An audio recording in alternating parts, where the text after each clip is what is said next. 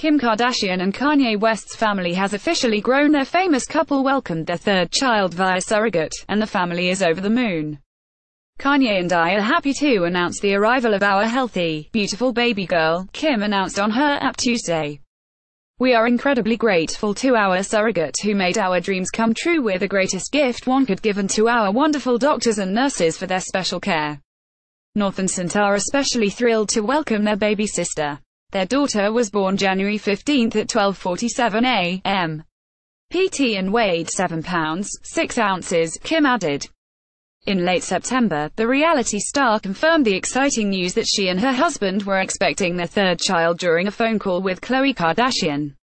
Kim had previously documented her struggles to conceive a third child on the hit show Keeping Up with the Kardashians, including undergoing several procedures in an effort to get pregnant. In fact, back in 2015, the star opened up to E! News about trying to conceive after giving birth to Saint West.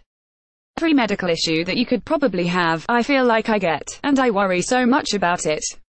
She admitted that she didn't think it was possible to get pregnant a second time, and added that she had a miserable time carrying her son. That's my experience and I'm not going to pretend that it's not. I just don't think pregnancy and me really agree with each other. And during the most recent season of KUWTK, Kim confessed that she and her husband had been eager to grow their family of four.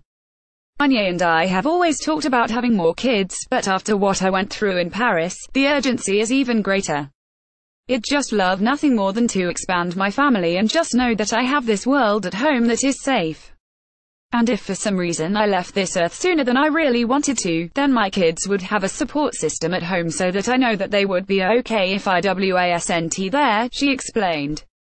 And in one particularly memorable scene from the show, Kim turns to her daughter North West and asks, I need to ask you a serious, serious question. Do you think mommy and daddy should have one more baby? North's adorable response was none other than, I want a boy and a girl that would make me so happy. Kim gave birth to her firstborn back on June 15, 2013 and welcomed her second child on December 5, 2015. Congratulations to the Wests on their exciting new arrival.